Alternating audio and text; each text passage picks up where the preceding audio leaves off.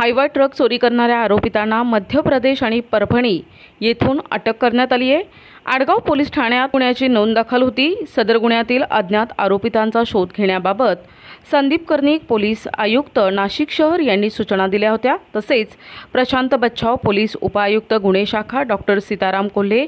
सहाय्यक पोलीस आयुक्त गुन्हे शाखा नाशिक शहर यांनी गुन्हे शाखा युनिट एक यांना मार्गदर्शन केले होते. त्या अनुषंगानं गुन्हे शाखा युनिट एकचे पोलीस अधिकारी आणि अंमलदार यांनी गुन्ह्याच्या घटनास्थळी भेट देऊन घटनास्थळाच्या आजूबाजूचे C C T V footage तसेच पोलीस अंमलदार राहुल पालखेडे यांनी केलेल्या तांत्रिक विश्लेषणाच्या आधारे आरोपी हा जिल्हा पन्ना राज्य मध्य प्रदेश येथे असल्याबाबत माहिती मिळाल्यानं सदर माहिती वरिष्ठ पोलीस निरीक्षक मधुकर कड यांना देऊन त्यांनी पोलीस उपनिरीक्षक चेतन श्रीवंत सुगन साबरे पोलीस हवालदार महेश साळुंके पोलीस अंमलदार अप्पा पानवळ पोलीस अंमलदार राजेश राठोड अशांचं पथक तयार करून वरिष्ठांशी पूर्व परवानगी घेऊन रवाना केले. सदर पथकानं दिनांक तेवीस मेला इमलिया तालुका शहानगर जिल्हा पन्ना येथे पोहोचून संशयित आरोपितांचा शोध घेऊन आरोपी संतोष उर्फ बसंत गंगाराम राजपूर यास ताब्यात घेऊन त्यास गुन्ह्याबाबत विचारपूस केली असता त्याने गुन्ह्याची कबुली देऊन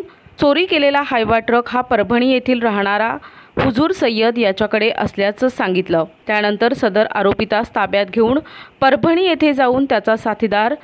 हुजून सय्यद याचा शोध घेतला असता तो मिळून आल्यानं त्याच्या कब्जातून सहा लाख पन्नास हजार रुपये किमतीचा